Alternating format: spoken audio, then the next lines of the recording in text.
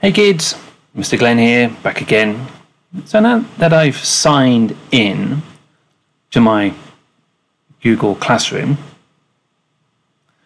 what I'm going to do now is go and choose my class that I need to be in. So some, some of you will see your technology class, some of you may see music, some of you may see Spanish, some of you may see different things in here, and that's fine.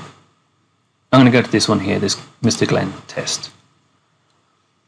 Now, when I'm in here, we need to look around and see what we need to pay attention to.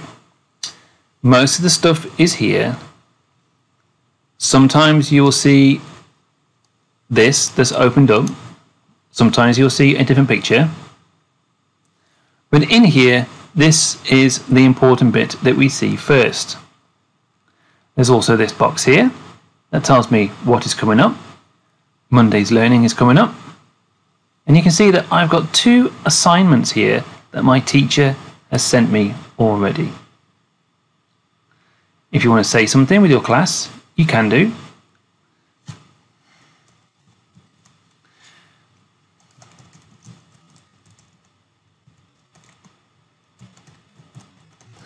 Okay, and then you can show what it is that you're learning about and you can go and add links and files from your Google Drive or links to Firefly or whatever it is that you're learning about.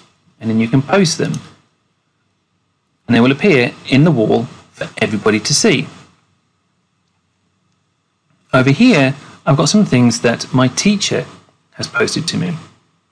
They are all in my classwork tab at the top.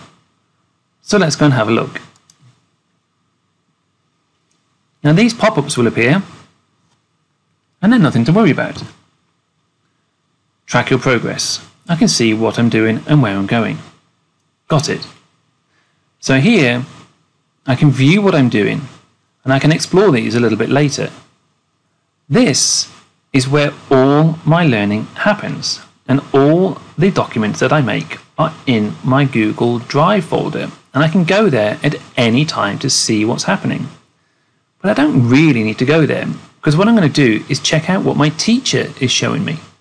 My teacher has put Monday's learning doc here, and it tells me when it is due. So I need to hurry up because this is going to be on Monday. I check it out, and it says, Here is my assignment. Now, when my teacher sends me something, you will notice that it has my name at the beginning because my teacher has made it so that my name is at the beginning and I own that document, but it is shared with my teacher. So, let's go and view the assignment. Talk to your teacher. This is where you can send a little message about anything that you're learning about and you're not too sure about. Let's send a message to my teacher.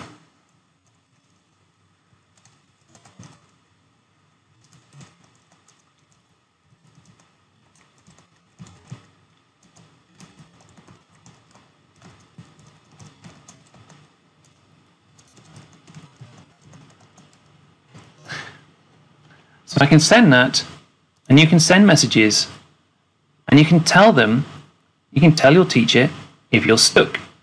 Your teacher will get an email with the label of this doc so that they know what it is that you are stuck on.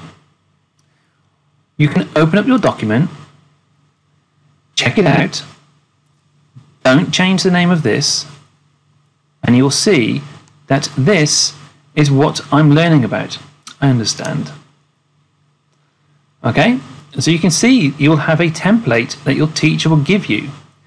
And you can do your, your work and you can show your learning and what it is that you're learning about. And you can go and post a picture inside here with insert image like you normally do.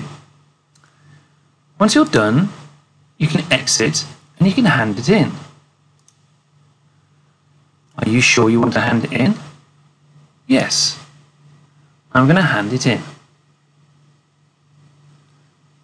If you're not sure and you think you've missed something, you can unsubmit before the deadline.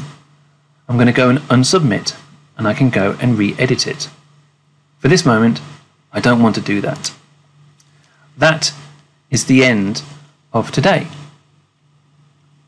Next, I will show you how to add documents into your work